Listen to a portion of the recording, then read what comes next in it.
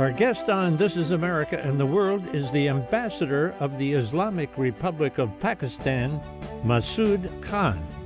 Ambassador Khan formerly served as Pakistan's permanent representative to the United Nations, Pakistan's ambassador to the People's Republic of China, and spokesperson for Pakistan's Ministry of Foreign Affairs.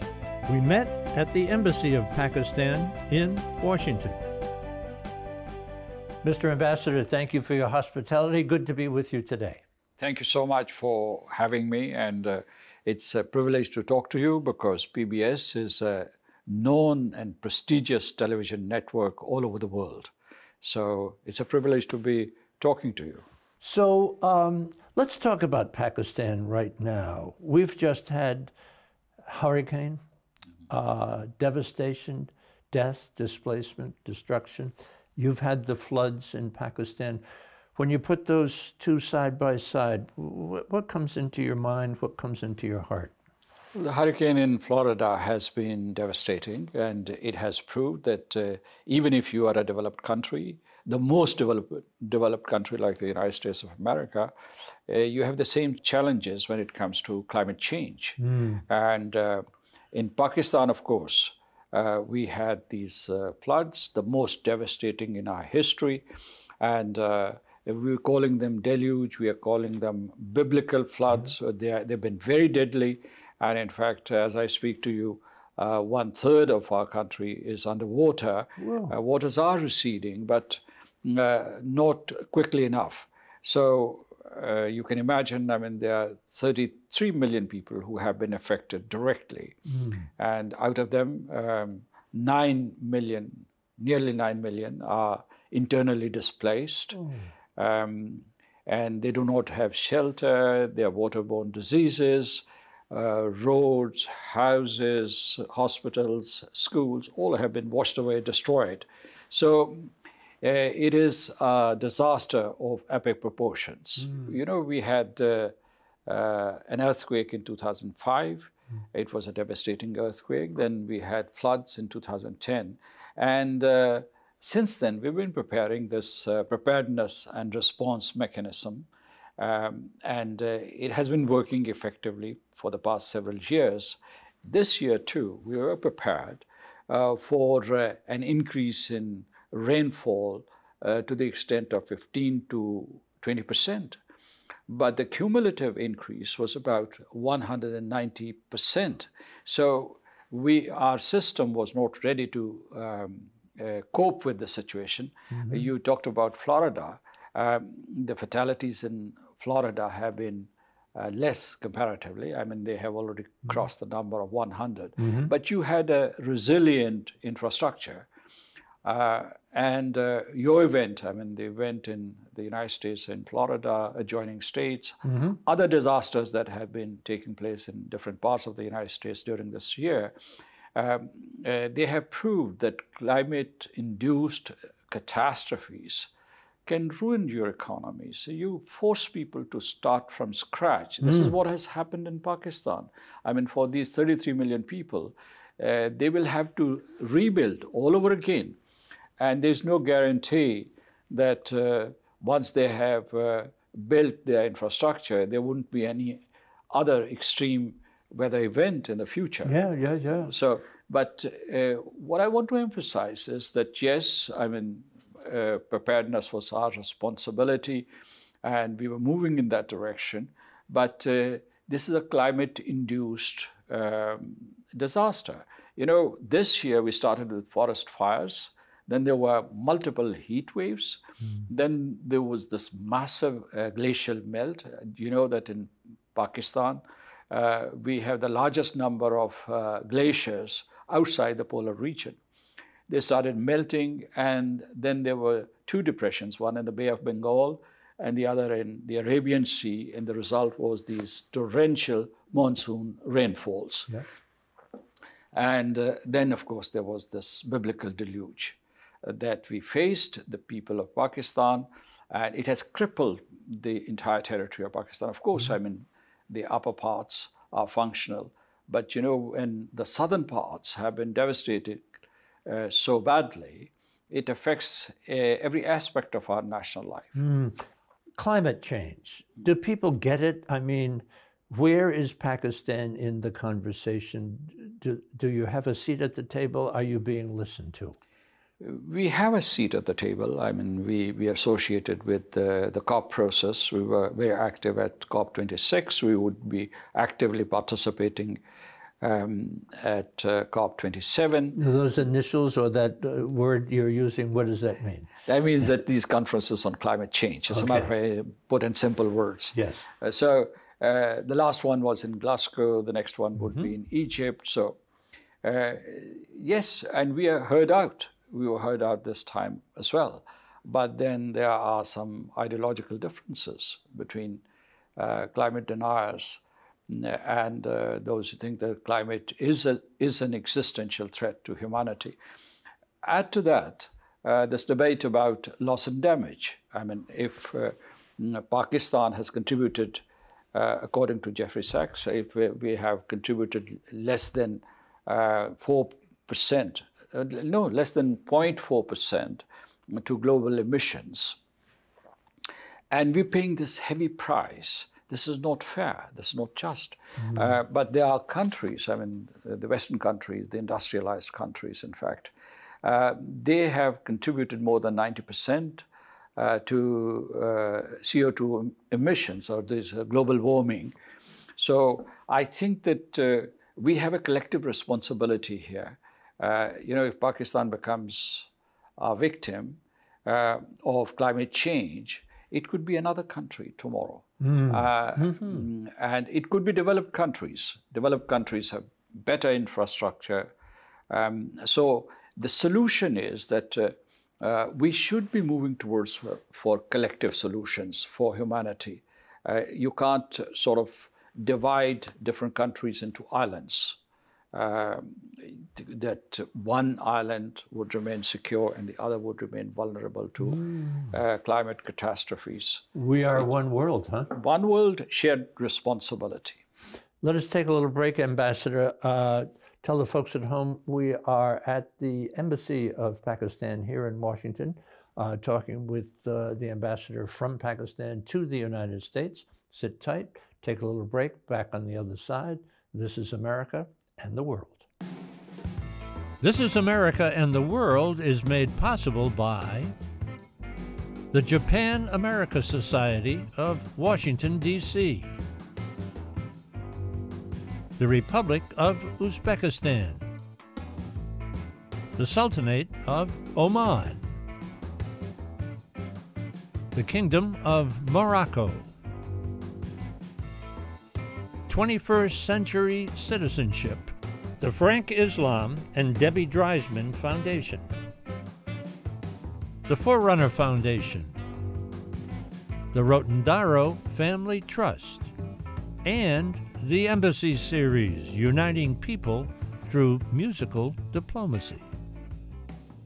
Mr. Ambassador, let us uh, finish up that, uh, that, that, thought uh, about what would you need as far as assistance is concerned, or how, how, how, can, how can we help? How can the West help? Well, we're grateful to the United States of America. They've already contributed about uh, uh, $66 million for uh, humanitarian assistance.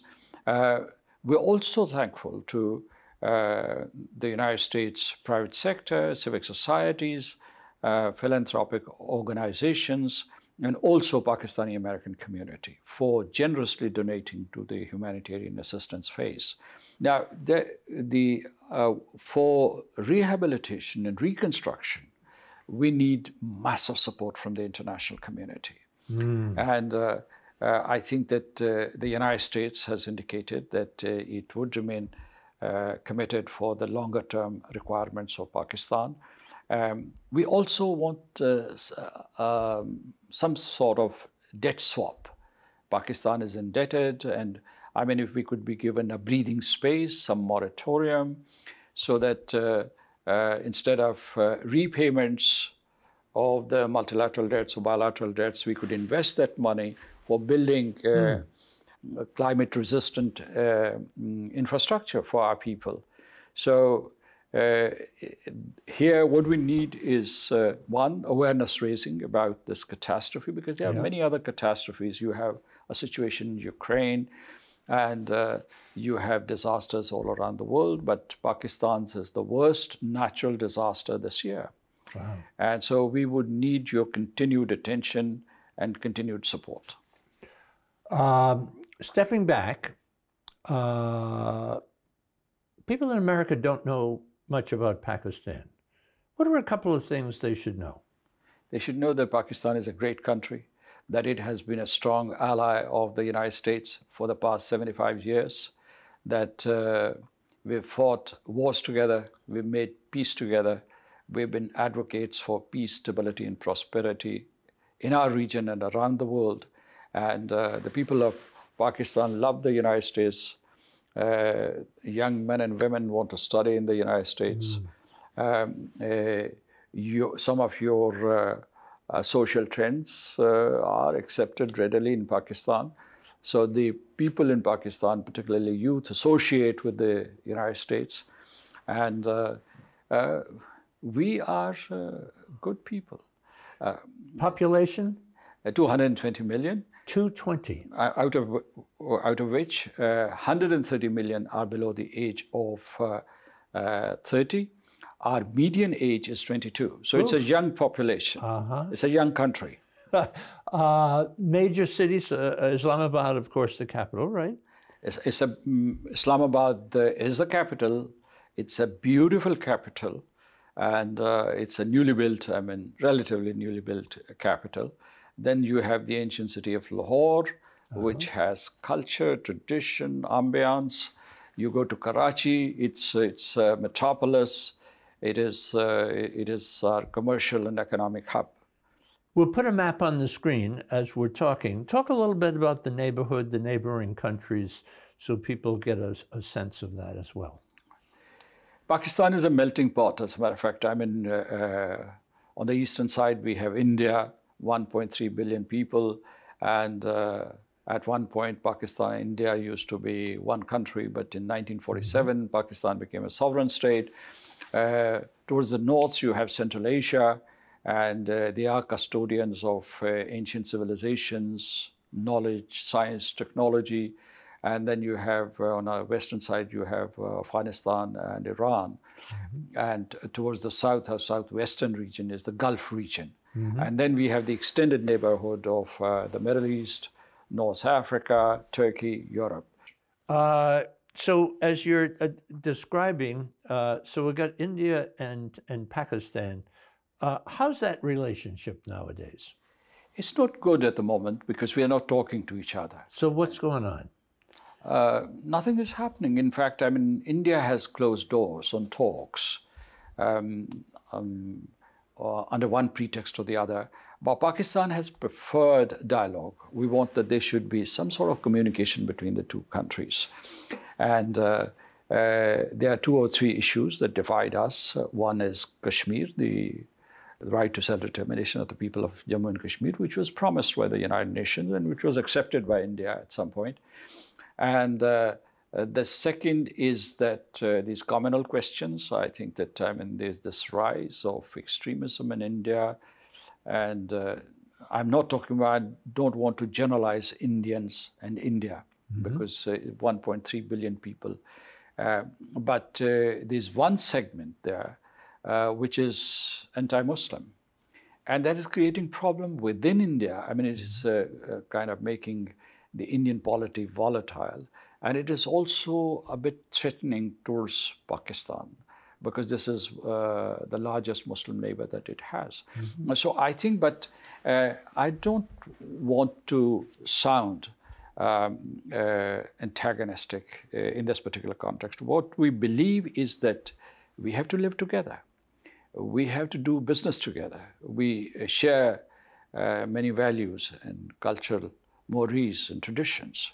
So I think that the best course of action would be uh, for South Asia to prosper, that uh, we should resolve our differences. We should be um, uh, not sending messages through the media, or uh, uh, but sit across the table and try to resolve some of the issues which have divided us and, um, uh, for, for the past 75 years. You, uh, you, you, are adjacent as well to Afghanistan. Yes. When you look across the border, what do you see? We have uh, a very close uh, relationship with Afghanistan because, I mean, um, the border used to be very porous until mm-hmm. recently. And uh, we, I mean, towards the north of the country, and if you look at Afghanistan, we are the same people. We have kinship, we have mm-hmm. cultural and religious ties. So um, uh, the population of Afghans in Pakistan is sizable. I mean, whether they're Pashtuns or non-Pashtuns, you will find them in Karachi and you will find them. I'm wave after wave of Afghanistan. Uh, people of Afghanistan, they have been migrating to Pakistan. Mm-hmm. So it's a very close relationship between the two countries. You got to, you're next door. You got to, ne- next you got to try to make do. How do you see the Taliban? What, what, how would you describe the Taliban? Is it a political organization? Is it a terrorist organization? Well, uh, now it's a political organization because uh, they are uh, running a government there. They are the interim authority there. So they have a political persona. Uh, our relationship with them is uh, political and strategic, and we have maintained it over the years. But uh, I would say that we have been talking to them and we have been counseling them to focus on three of their commitments that they made at Doha. One is inclusive governance, the other is uh, respecting the rights of women and girls, and third is uh, moving against uh, terrorism. Mm-hmm. And I think that in some areas we've been making progress bit by bit. We have influence, of course, I mean, uh, but uh, it's not absolute, and uh, we can talk to them. But I think that if somebody presumes that we have 100% influence with them, that would not be true. In, uh, in Pakistan itself, uh, in our conversation, I would be remiss. Is Osama bin Laden, the fact that he was in Pakistan, is that the elephant in the living room? Did that hurt the United States' relationship with Pakistan? And where does the relationship stand today? At that moment in uh, 2011 and in the immediate aftermath, this was a potent factor, but uh, I personally believe that this has uh, faded away. And uh, uh, because there was this question about uh, complicity or incompetence. Mm. But I think that we didn't know about it. I mean, um, there's been a debate about it, and there was no duplicity on the part of Pakistan. Um, we have uh, given sacrifice of 80,000 people uh, in this war against terror. And uh, we had a shared objective. We had a common cause with the United States and its allies. So mm, uh, we've been uh, steadfast in our friendship with the United States. This should not be a factor. But one thing that I want to highlight is that this um, uh, in the recent past, uh, both sides have moved closer to each other. They have opened new doors for uh, cementing stronger ties.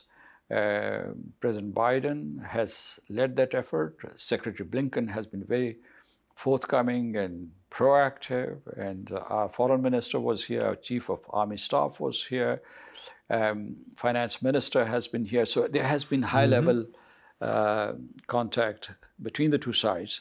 And what we're trying to do, this is very important to understand, that we are focusing on positives, not negatives. We are promoting a positive agenda between the United States and Pakistan. And this relationship should not be confined or limited to military to military uh, relationship or to just strategic objectives.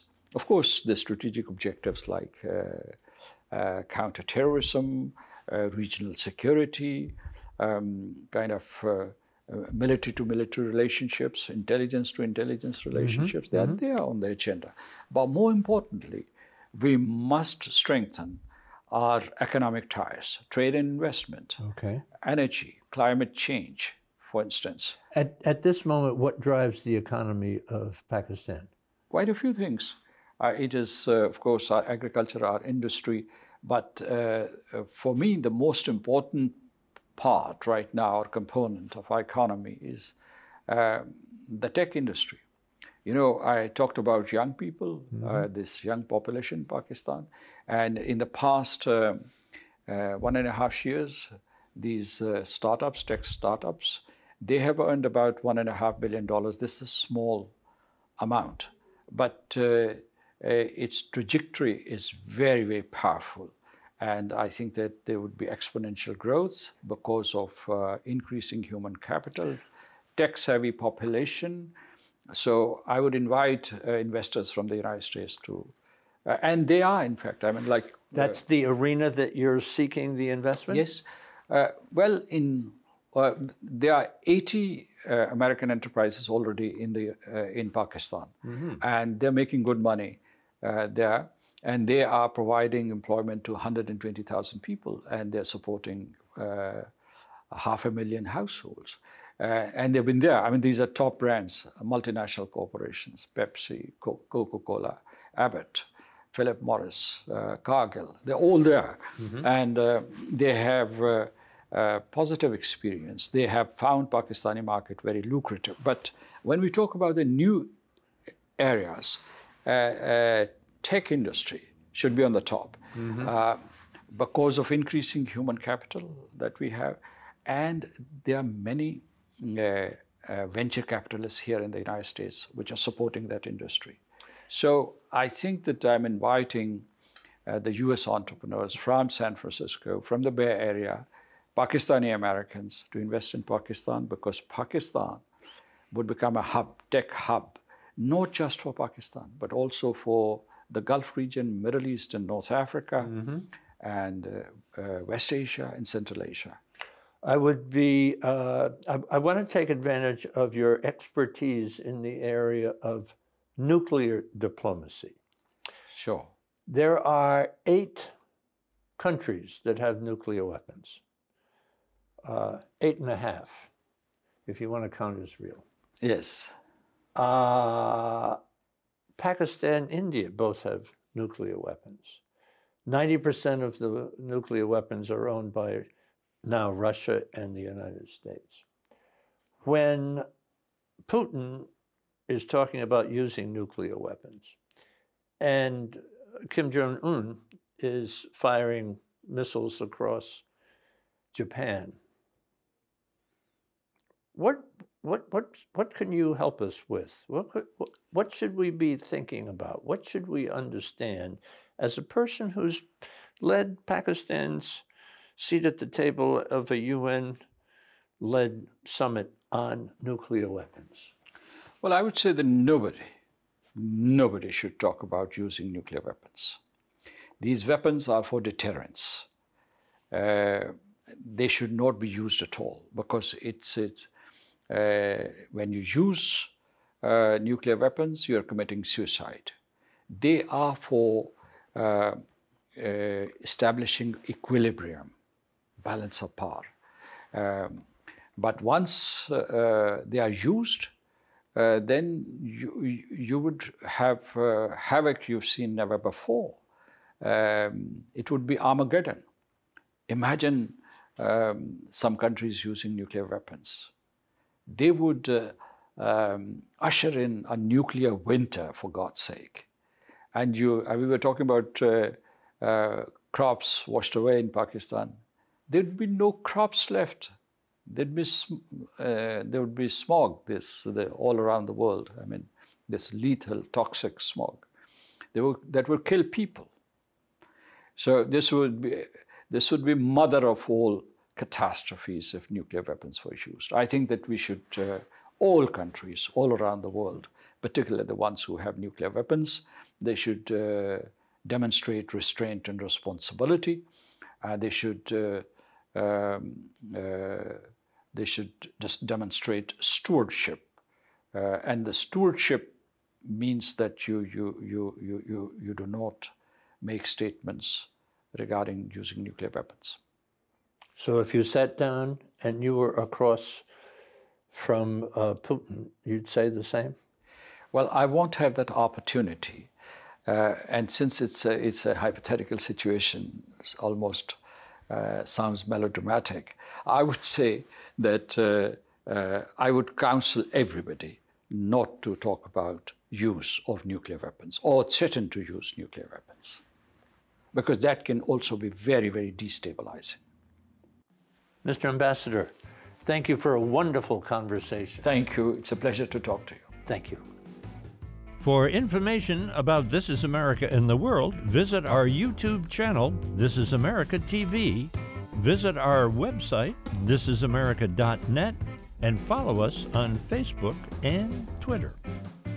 You can listen to all of our ambassador interviews on our podcast, The Ambassador Series. It's available on our website and iTunes. This is America and the World is made possible by the Japan America Society of Washington, D.C., the Republic of Uzbekistan, the Sultanate of Oman, the Kingdom of Morocco,